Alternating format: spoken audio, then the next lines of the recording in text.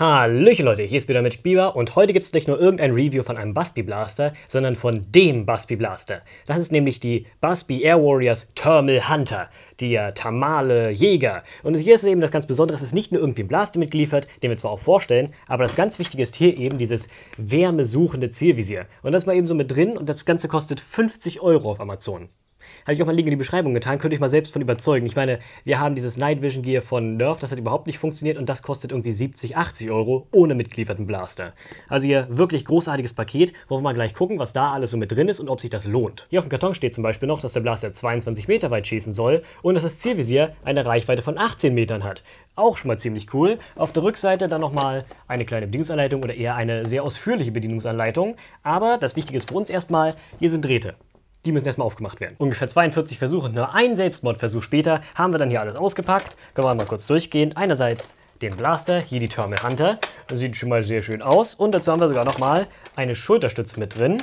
Dazu dann das hitzesuchende Visier, das Heat Seeking Scope. Und dazu noch sogar einen Steckschienenadapter. Den gibt es auch noch mit drin. Natürlich nochmal ein Magazin für 10 Waspi-Pfeile in schwarz. Hier haben wir insgesamt nochmal 29 Busby-Pfeile. Vier kennen wir schon, das sind diese äh, lange Reichweitenpfeile, mal blöd übersetzt. Und das hier sind die Präzisions-Profi-Darts, insgesamt 25 davon. Bei einem 10er Magazin. Wir haben eine Menge Munition. Hier zuallererst bei dem Blaster, die Thermal Hunter, hier mit so einem rot-weiß-grauen Design, gefällt mir sehr gut. Wir hatten ja früher diese Busby Blaster, wo sie zum Beispiel statt einem richtigen Logo nur so einen Sticker drauf gemacht haben. Das war alles grau und grau. Das war natürlich nicht so geil. Hier ist das schon mal ein richtig tolles Upgrade. Auf der Seite haben wir sogar noch einmal Thermal Hunter richtig aufgezeichnet, den Namen. Das ist auf jeden Fall schon mal gut. Und ansonsten, ja, mir gefällt das Design. Nur eine Sache stört mich da extrem. Das ist hier dieser Griff. Ihr seht schon, etwas längerer Blaster, sieht cool aus, aber der Griff ist halt extrem klein. Für mich geht er noch gerade so, aber ich muss schon ganz schön quetschen und vor allem hier der Abzug, der ist eben so blöd gesetzt, dass ich den nicht wirklich ziehen mag. ist einfach viel zu nah an der Hand dran. Man muss den Finger irgendwie total verdrehen. Außerdem, wenn ich den dann wieder loslasse, den Abzug, klemmt sich immer so ein bisschen Haut von meinem Finger hier unten mit ein. Das ist, weil es alles so eng ist. Das ist ein Problem.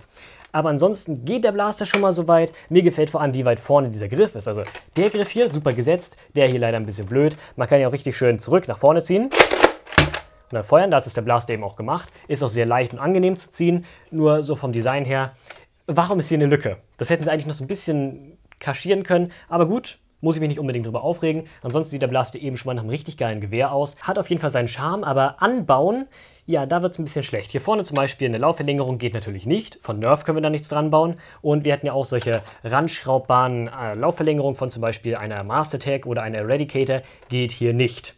Der Lauf reicht aber auch schon.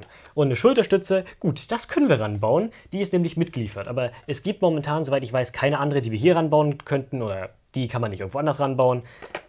Auf jeden Fall wird das hier einfach raufgesteckt und es klickt dann so rein. Es geht auch nicht einfach so ab, dazu müssten wir unten nochmal diesen Knopf reindrücken und dann abziehen. Es hält auf jeden Fall erstaunlich gut drin. Es wackelt mal so ziemlich überhaupt nicht. Dafür hat man jetzt noch viel weniger Platz an der Hand und ich habe sogar das Gefühl, wenn ich, den, wenn ich das blöd halte, komme ich mit dem Handgelenk so an den Knopf, dass ich es einfach abziehen könnte. Ja, ich habe es gerade geschafft. Aber wenn man die Schulterstütze jetzt einmal ranbaut, dann hat man auf jeden Fall den Vorteil, dass man noch irgendwie anlegen kann. Das ist auch wirklich der einzige Vorteil, den man hat, weil ansonsten ist es super unangenehm zu halten und man stößt hier gegen den Arm gegen oder hier gegen das Handgelenk. Man kann das, wenn man es in einem ganz bestimmten Winkel hält, dann stört das nicht mal, aber den hält man eben selten, wenn man irgendwo hinterherläuft. Wenn ich jetzt anlege, geht es auf jeden Fall. Also die Schulterstütze war sehr kurz und der Griff ist unangenehm nah dran. Man muss also hier irgendwie so, so ein Hühnchenflügel damit imitieren, aber es geht auf jeden Fall. Und man kann sogar sehr genau zielen damit, weil man dann hier auch die Wange auflegt, weil es genau im richtigen Winkel ist. In bestimmten Situationen ist es praktisch, aber ich würde es allgemein weglassen. Zum Zielen auf jeden Fall haben wir hier vorne so ein richtig schön fettes Korn und das geht dann genau hier über diese Steckschiene rüber. Die ist jetzt zwar nicht wirklich eine gute Kimme, aber man kann eben trotzdem ordentlich zielen. Ich meine, ich habe schon Schlimmeres erlebt. So, ich hoffe mal, ich zeige das hier auch richtig. So. Und dann würde ich allgemein sagen, ab mit dem Ding. Dann guckt das jetzt weiter raus. Es sieht nicht großartig aus, man kann es auch nicht anlegen, aber dafür ist es eben noch ein ziemlich guter Blaster. Und mir persönlich gefällt das auch. Man kann hier sogar sehr schnell hintereinander schießen. Kann ich euch gleich mal zeigen. Wenn man eigentlich nur diesen ähm, Griff nach hinten zieht und dann nach vorne abdrücken. Das geht sehr schnell, besonders wenn man so ein bisschen damit geübt hat. Einen Rapid-Fire-Modus haben wir da allerdings nicht drin. Das heißt, wenn ich das hier drücke und nach hinten ziehe, würden da keine Pfeile rausfliegen. Zum Laden dann hier einfach nur das Magazin nehmen, die Pfeile rein damit und dann kann es eigentlich auch schon losgehen. Übrigens ist es ja so, dass hier die Magazine und Pfeile mit Nerf-Pfeilen und Magazin austauschbar sind. Das heißt, ich kann auch genauso gut ähm, sowas hier machen. passt hier absolut rein und dann kann ich sogar noch damit abschießen. Andersrum geht es natürlich auch. Hier so ein 12er Magazin aus der Nerf-Reihe.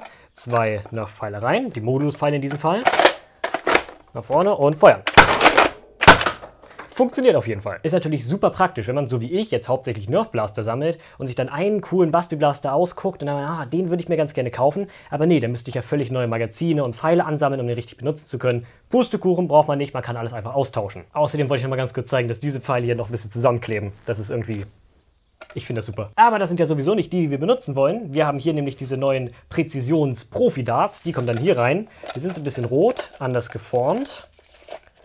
Und wir haben ja insgesamt 25 von den Dingern mitgeliefert und nur ein 10er Magazin. Das heißt, wir können hier tatsächlich eine Menge damit feuern, selbst wenn uns ein paar verloren gehen. So schauen die dann aus und im Vergleich zu den Akku-Strike-Pfeilen von Nerf, die ungefähr den gleichen Effekt haben sollen, ja, ich finde die roten schon ein bisschen besser, die sehen gut aus. Hier hereinstecken können wir dann das Magazin und um es einfach wieder rauszubekommen, hier unten ist so ein kleiner Knopf, dran ziehen, kommt es wieder raus.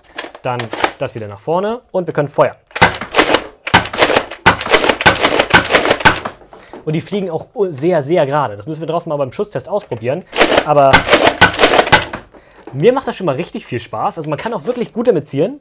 Man kann eine richtig gute Schussgeschwindigkeit damit haben. Und ein 10er Magazin ist nicht schlecht. So Standard bei Nerf ist ja ein 12er Magazin.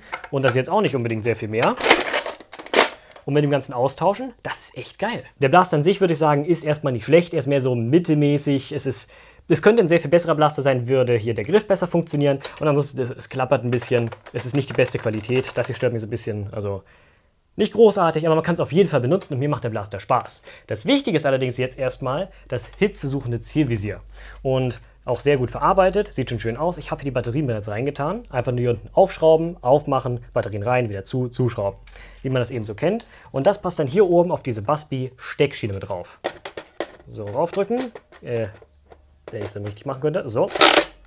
Und das hält auch gut dran. Was hier klappert, ist übrigens der Griff hier vorne, nicht das, äh, nicht das Zielvisier. Das hält wirklich ordentlich fest, klappert nicht, wackelt auch kaum. Und das ist wirklich sehr gut verarbeitet, soweit ich das sehen kann. Besser sogar noch als der Blaster. Und dann haben wir hier nochmal ganz kurz das Gerät. Sieht auch schön aus. Trägt nicht so viel auf. Mit Heat Seeking Scope, ja, mit Low und allem. Und dann haben wir hier das Ganze und anschalten, ist recht einfach. Außerdem um Modus, oben rechts der Knopf. Damit kann man dann Hitze suchen, ausschalten, ist einfach nur noch, ja, ein Zielvisier. Ändert sich sogar noch die Farbe des Kreuzes. Und Set, wenn man darauf drückt, stellt man die Grenztemperatur ein. Das heißt, worauf er sich einstellt. Wenn es dann heißer ist, dann wird dort unten dieses grüne Kreuz rot. Wenn es aber die gleiche Temperatur oder geringer ist als das, was man eingestellt hat, ja, dann bleibt es halt grün. Wenn ich dann also rüber gucke, ihr seht diese graue Fläche dort oben, dieses milchig-graue, dort ist dann die ganze Magie. So, und wenn ich Modus einschalte, dann wird das Fadenkreuz blau und dann interessiert das Fadenkreuz auch nicht mehr, was dort oben für eine Temperatur ist. Ich habe es gerade nochmal gesettet, dabei blinkt das Fadenkreuz und dann sieht man hier noch einmal ganz kurz, wie das funktioniert. Also bis zu einer 18 Meter Reichweite soll es dann auch erkennbar sein und es funktioniert ziemlich gut. Man muss eben öfter mal einstellen, ja, das ist jetzt die Temperatur, das ist die Grenztemperatur und ansonsten ziemlich genau.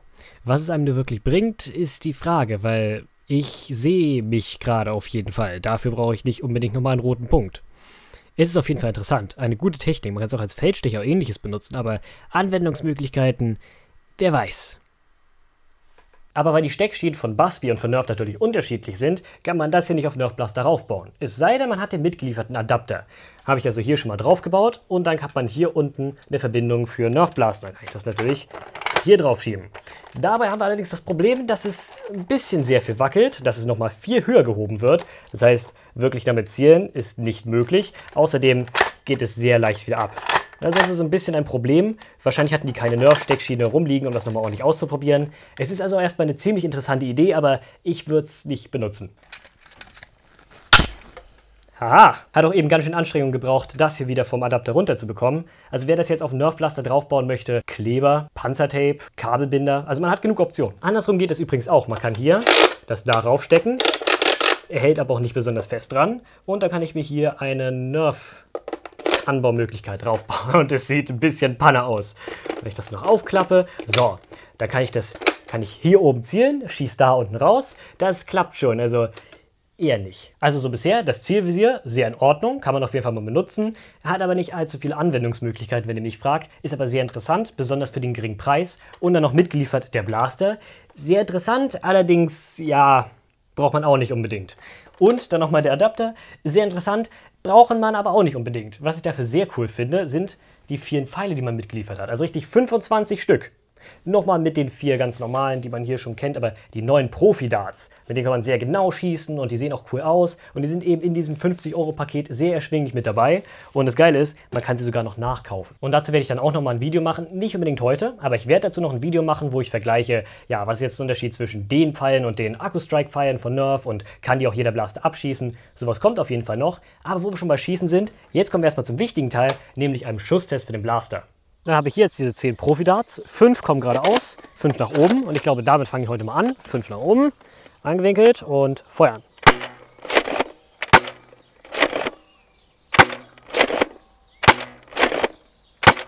So, das waren jetzt diese 5, sind noch schön weit geflogen, sehe ich schon. Aber jetzt mal die 5 geradeaus.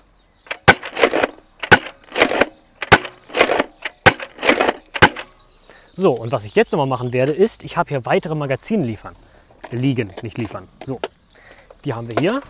Da habe ich zum Beispiel solche weißen Moduluspfeile von Nerf. Nochmal solche, die ich vorhin gezeigt hatte, von Busby. Und hier Akku-Strike-Pfeile, die sich ja vergleichen lassen mit den Profi-Darts. Und die werde ich jetzt nochmal gerade ausschießen an den gleichen Punkt und dann mal gucken, wie sich das Flugverhalten ergibt. Und dann haben wir nochmal einen schönen allgemeinen Vergleich zwischen denen hier. Dann haben wir hier die weißen Pfeile, die kommen zuerst. Das ist so Standard von Nerf.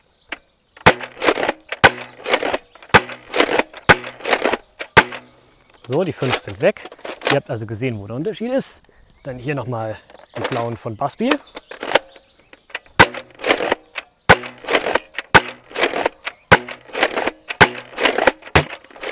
Da habe ich mich verzählt, aber egal. Und dann hier die Akku-Strike-Pfeile. Das wird sehr interessant. Sind die beide denn jetzt ungefähr gleich gut?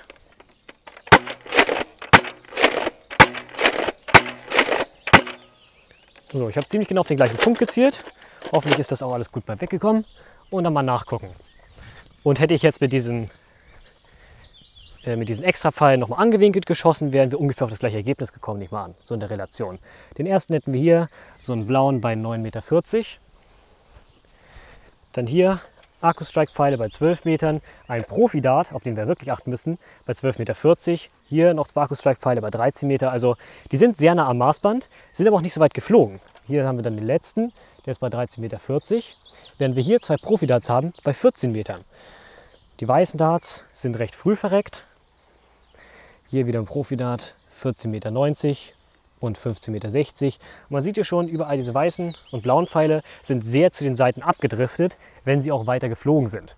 Tatsächlich hätten wir die weitesten bei den blauen, also die weißen sind jetzt irgendwie bei 16,50 Meter, aber die blauen sind bei 17,70 Meter beim gerade Schießen oder einen bei 19 Metern und der weiteste hier bei 21,40 Meter. Ich habe gerade geschossen. Dafür hatte der auch eine ganz komische Flugbahn, mit der man nicht zielen kann. Die fünf roten angewinkelten sind noch sehr nah am Maßband bei 25 Metern, 25,20 Meter, 26,30 Meter, sogar die beiden. Und der weiteste bei 27,50 Meter. Das war jetzt so eine ganz kurze Testreihe. Das ist noch nicht dieses super Video, das ich dazu machen wollte. Das ist auch kein großartig wissenschaftlicher Test. Das war einfach nur, um zu zeigen, ja, diese Pfeile stehen Akkustrike-Pfeilen jetzt nicht wirklich nach. Vielleicht sind die sogar noch besser, weil sie ein bisschen weiter geflogen sind. Und ich muss sagen, der Blaster hat nicht nur ordentlich Kraft, mit den Pfeilen ist auch noch mal sehr genau. Ihr habt gesehen, auf über 25 Metern immer noch so nah am Maßband zu sein, das ist wirklich gut. Zielen kann man damit auch. Das ist ein mittelmäßiger Blaster, hätte man noch ein bisschen besser verarbeiten können und dann wäre er mit der Menge an Pfeilen halt echt geil gewesen. Das hätte natürlich noch nicht die 50 Euro gerechtfertigt, aber dazu nochmal dieses schöne Zielvisier. Das ist schon nur nochmal die Perspektive. Dieses Night Vision Gear von Nerf, das ich ja sehr schlecht bewertet hatte, weil es sehr schlecht funktioniert, besonders für den Preis. Ne? Kostet 70, 80 Euro.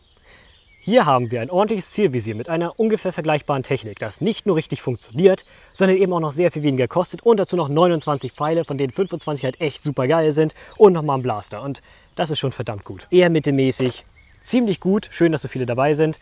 Zielvisier Ich wüsste nicht, wofür man es wirklich einsetzen könnte, aber von der Technik her super interessant und der Adapter muss man nochmal bearbeiten. Aber ansonsten ein wunderbares Paket. Ich kann es nur empfehlen, wenn man noch 50 Euro übrig hat. Sehr geiles Experiment und ihr werdet definitiv nicht damit enttäuscht sein.